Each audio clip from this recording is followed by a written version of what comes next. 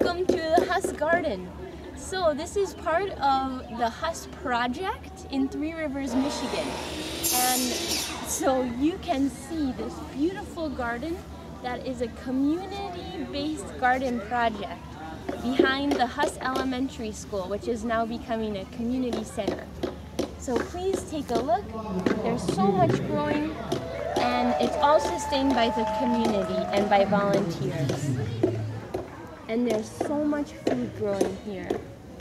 It's really beautiful. I was here about four years ago and it was just some small garden boxes and still they were producing a lot of food, but now it's grown to be something really beautiful and I can see so many colors and so much food growing in this community project. See you again.